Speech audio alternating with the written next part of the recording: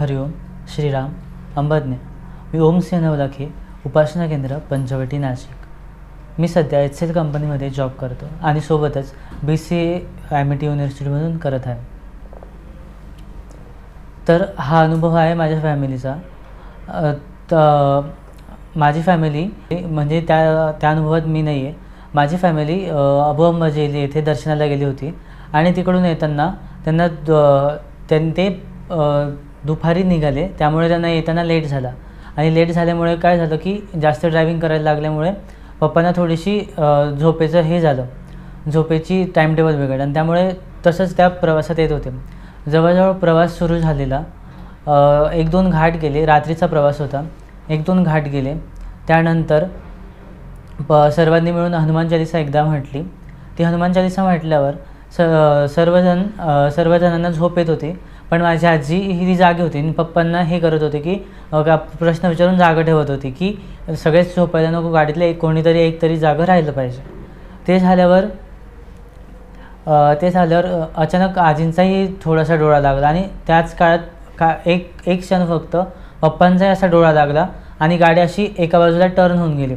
त्यामुळे काय झालं आणि त्यामुळे त्या त्या धक्क्यामुळे आजी उठल्या. आणि आजीने तीन वेळा फक्त बापू बापू बापू अशी जोरात हा हाक मारली. बापू धावा बापू धावा. बस.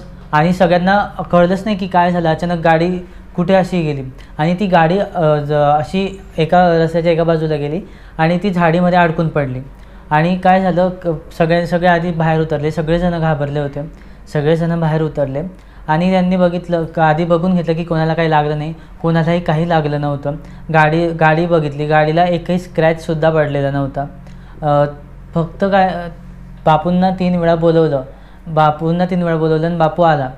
ह्या ते झाल्यानंतर बा ती गाडी एका छोट्याशा क- अशी द खड्डा होता त्यात अडकली होती.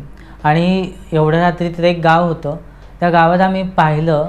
मग त्या गावात मदत म्हणून आम्ही बघितली. तर कोण ते म्हणत होते की तुम्ही आज आता आम्ही एवढ्या रात्री येऊ शकत नाही. तुम्ही सकाळीचा मग आजींनी काय केलं की रोडावर मदत मागण्यास सुरुवात केली की रोडावर एक हात देऊन गाडी थांबवत होते. पण एकही गाडी थांबेना.